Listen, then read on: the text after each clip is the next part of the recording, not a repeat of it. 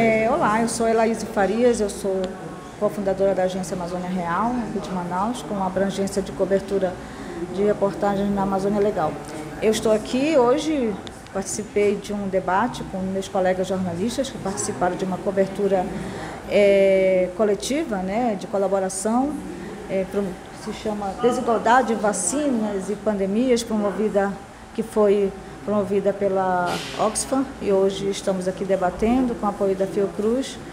é, esse assunto, que foi primeiramente uma primeira etapa que foi uma primeira etapa que foi sobre a cobertura e hoje estamos aqui presencialmente debatendo esse assunto tão relevante para a nossa sociedade, embora já não se fale, fale tanto, mas estamos é, dando luz a um assunto que sempre precisa ser debatido pela sociedade. A sua urgência, a sua necessidade é sempre presente que é a cobertura vacinal, desigualdade, sobretudo populações em populações em condições de vulnerabilidade, como quilombolas ou povos indígenas, e é um assunto que precisa estar sempre é, em permanente discussão, precisa colocar sempre em pauta, por mais que seja incômodo. E é isso.